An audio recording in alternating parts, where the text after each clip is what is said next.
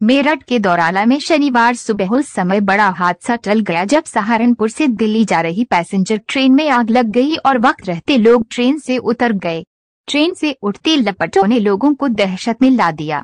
Passenger train के दो coach और इंजन में आग लगने के बाद बाकी कोच को काट कर अलग किया गया।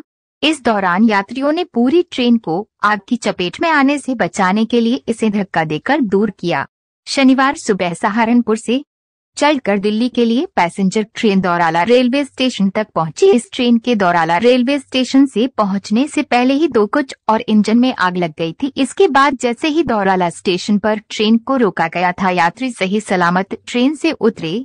इसी दौरान यात्रियों ने अपनी सूझबूझ का परिचय दिया और रेलवे के कर्मचारियों के साथ आग लगे कोचों से ट्रेन के अन्य डिब्बे को धक्का मारकर आगे कर ठिकाने पर पहुँचाया। इस तरह से ट्रेन के अन्य डिब्बे आग की चपेट में आने से बचे। रेलवे के आधिकारिक सूत्रों का कहना है कि संभवतः आग शॉर्ट सर्किट की वजह से नहीं लेकिन ट्रेन के दौराला स्टेशन पर खड़े होने की वजह से आग पर तुरंत काबू पा लिया गया। सभी यात्रियों के डिब्बों से बाहर निकलने की वजह से किसी के भी हताहत होने की सूचना नहीं है और सतर्कता के कारण एक बड़ा हादसा होने से टल गया।